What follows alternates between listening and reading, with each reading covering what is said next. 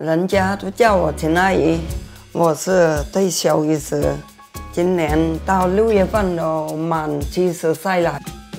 这是巴黎走秀，是向全球直播，我心里面又是激动又是紧张。哇，人家个个都专业模特，我又不懂得怎么布，怎么办呢？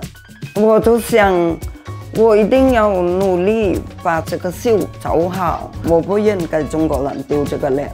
一年多前，来自中国广西的秦阿姨开始在网上分享穿搭，单品呢都是她从儿子衣橱捡的，她因此得到了很多关注，也成为了巴黎时装周上罕见的亚洲素人模特。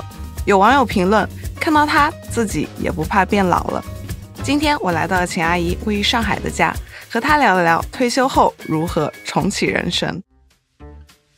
我是少数民族。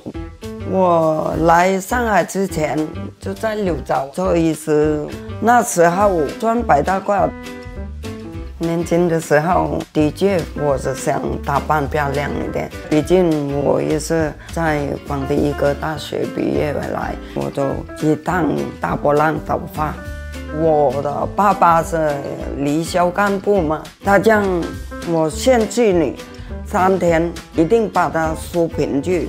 那时候不敢当真，退休了。本来儿子就叫我来这里玩一段时间，儿子就说：“两个月不用买什么衣服，你试穿我的大衣、风衣看。”我们年纪大一点了，人又萎缩了，穿高跟鞋呢，就体现了人的机智，能钻就尽量钻。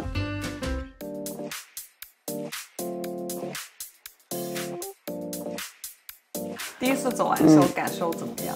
刚一下打原来，他们就个个的竖拇指，见到这个波拉达女士，她就说：“我就最喜欢你穿我们的缪缪的服装啊，穿的有很独特的品味出来。”那为什么选择自己一个人去呢？我的签签得签得了他的。含延迟一两天。我一个人出门，又不懂得法语，有不懂得英语，手机上它有翻译机呀，还有可以做那个手势。我要吃饭了，这可以这样。我的母亲祭祀的那一天，风俗习惯都是搞一块红布给你，一直保留到现在。把它来绑在行李箱上，也等于将母亲陪伴自己到这里一样，所以有勇气了。这件大衣呢，是它也穿不合身，平常天气冷了我就拿来穿。还有个这件，呃，裙子我也特别喜欢。非常惊艳的一件，现在都忘记年龄了，所以好漂亮，就不不管呃艳不艳都要穿了。会不会觉得跟儿子不仅是像母子，更像朋友？特别是搞什么活动啊，我们都一起去，他也穿搭的好，我也穿搭的好，所以我们都越来越默契了。在我们家，除了煮饭买菜，没有什么事做了。现在都有忙得不得了了，一天又看手机，又要拍照了。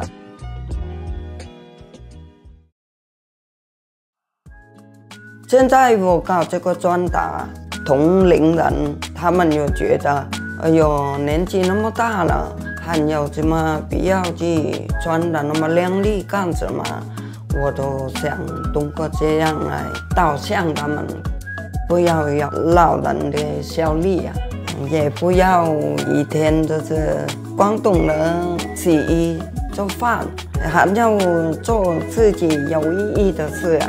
我身边的朋友他们也有改变了不？现在在这样的年代，生活那么美好，不要错过机会。现在。